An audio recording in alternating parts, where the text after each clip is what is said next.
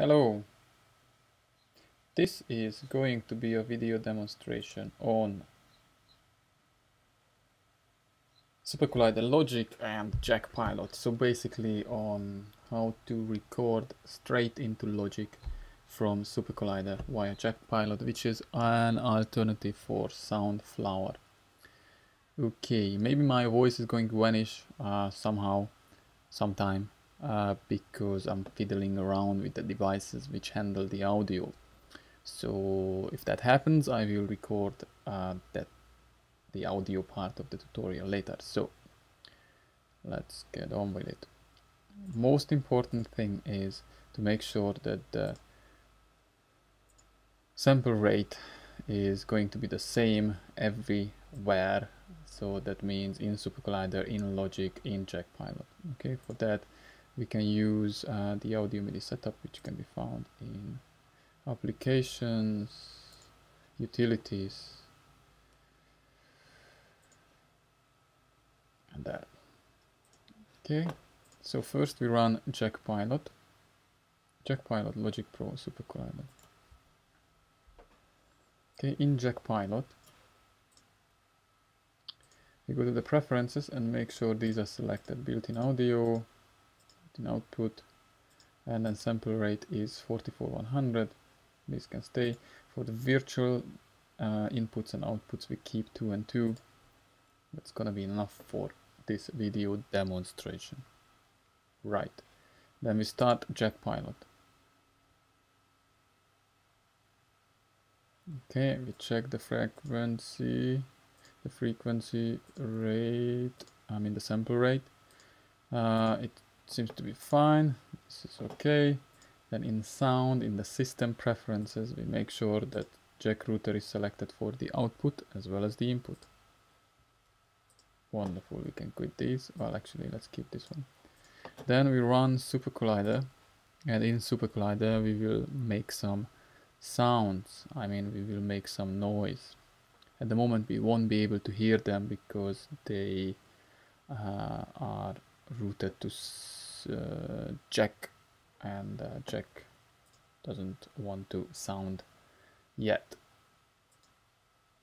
In SuperCollider, use your code, have your uh, 0 and 1 for the buses as your outputs, so basically don't change too much on it.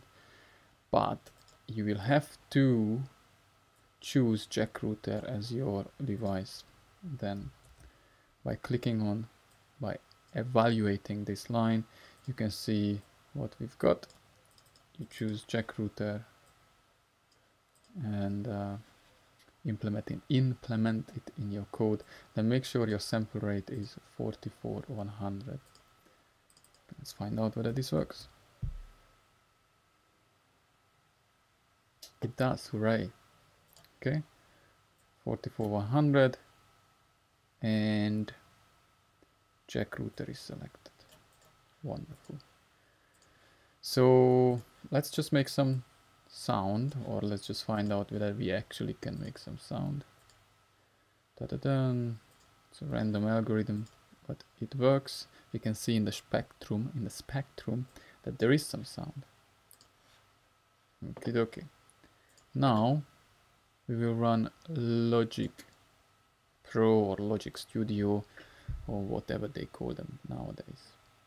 Now in logic we will have to do more or less the same which is we have to select the jack as the device which handles the audio the audio my accent doesn't really want to improve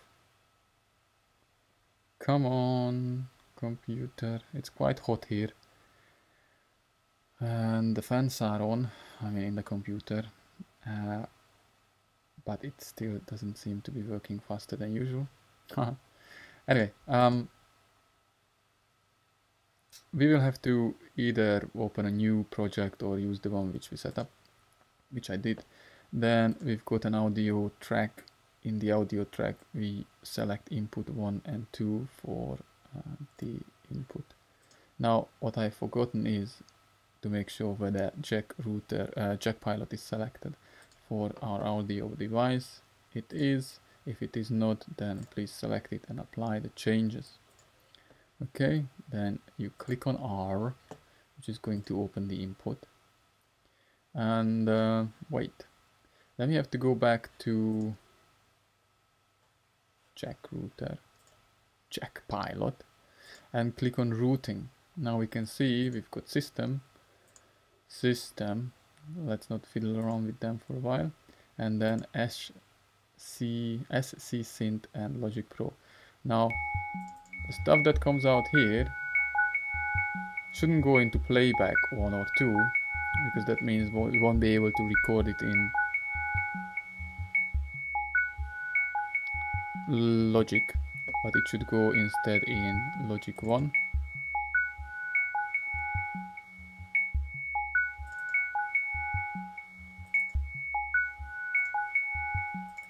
and the other one I mean the right one should go in 2 and now we actually can see it in logic.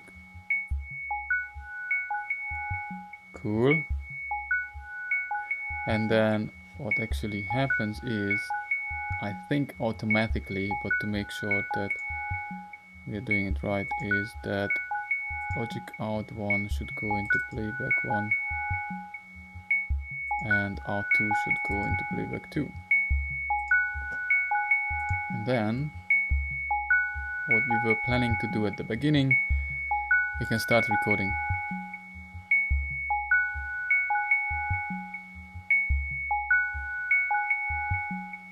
Sweet. Okay, if there is anything I've forgotten, I will type it uh, in the what is it called description or additional information. So thank you for watching. Hope you enjoyed it. Let's quit.